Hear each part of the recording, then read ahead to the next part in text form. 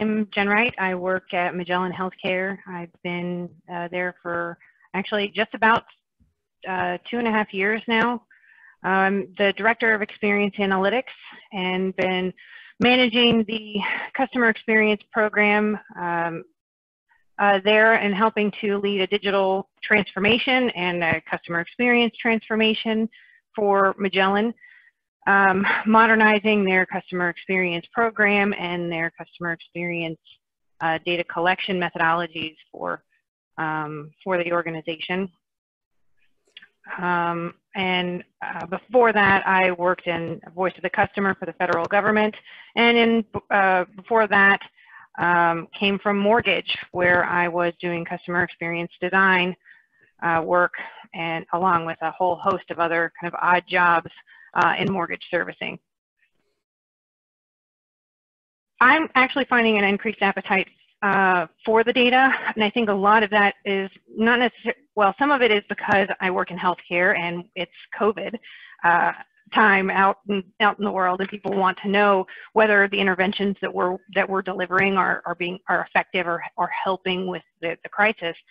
Um, but part of it is, I think as well, that the more we're able to mine the existing data we have, the more that we're demonstrating and um, that that there's actually data available to us that we haven't really been capitalizing on. So the more that we actually demonstrate that, the more people see that there's there's value here that we aren't taking advantage of, and so we're kind of creating that enthusiasm, creating enthusiasm and interest, um, and we're kind of starting we're start, starting to see a snowball effect. And so as we've been doing that at Magellan, we're um, starting to build a little bit more um, a, a, little bit more excitement around uh, the customer customer experience um, uh, internally, and it's been really exciting to be a part of it. I think too, our, our internal customer service personnel are a, a wealth of information, and I don't think they're used enough, frankly. Um, they sit on calls as part of their job. They know what customers ask about. They know um, pro common problems that are reported. There, there's an opportunity there to as much as people don't like to take them off the phones, take them off the phones and ask them, what are things that you hear that you could find uh, that, that we aren't addressing with our current business processes? And there are ways that we could get information about our customers by asking our own employees.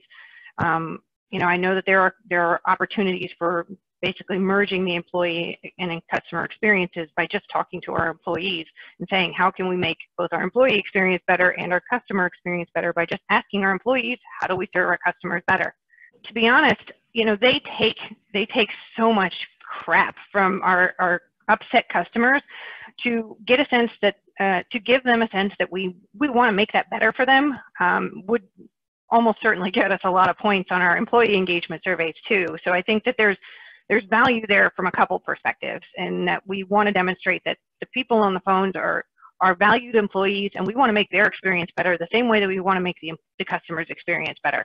Um, and the, the cases where I have had an opportunity to read um, employee engagement survey responses from the frontline um, workers, that's something that they relay, that they don't want to tell customers, no, I can't help you, or, you know, they, they want to be able to help as much as possible.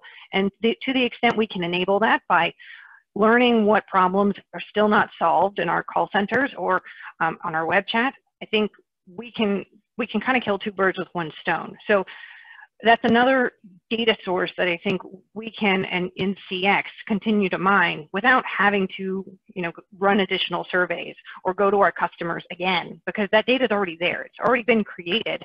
We just by listening to our calls or even just talking to employees um, kind of informally, we just need to kind of think it a little different, think a little differently about um, how to get the data.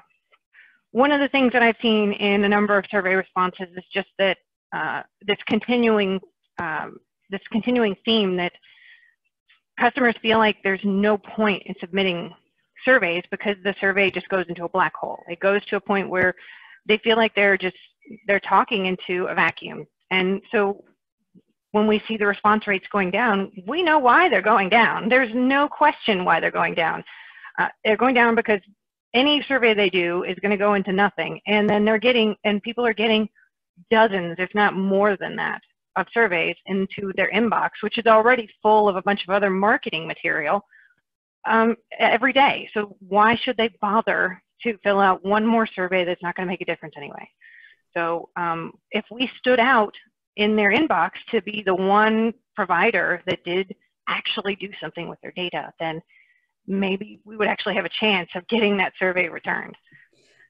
Um, we have to become more creative in using the data we have to understand the customer experience and not just relying on continually reaching out to customers or uh, to understand the, the customer experience. We have to start looking in at existing data sources and mining that for um, the, the understanding of customer experience. So the more we understand data, understand analytics, and understand uh, data science concepts, the more capable we'll be at doing that.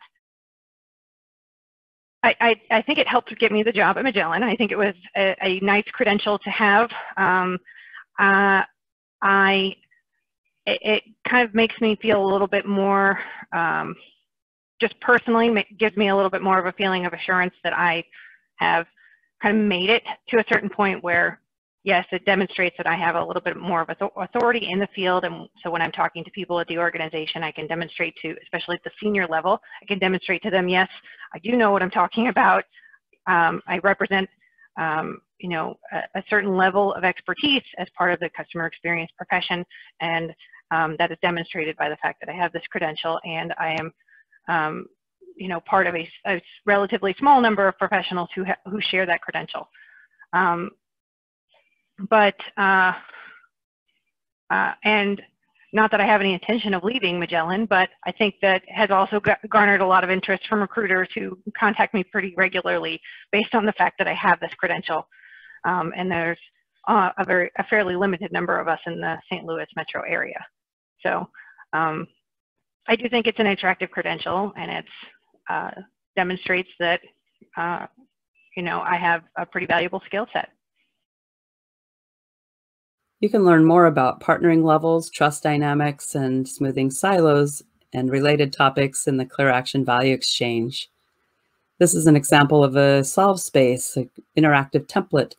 The ClearAction Value Exchange shows customer intelligence stewards how to influence organizational agility, internal and external alignment, and stakeholder accountability at the interpersonal, department, and enterprise levels. An array of formats makes it easy to pop in and find nuggets of wisdom to elevate performance that will increase ease of doing business and ease of work. Join us today in the ClearAction Value Exchange.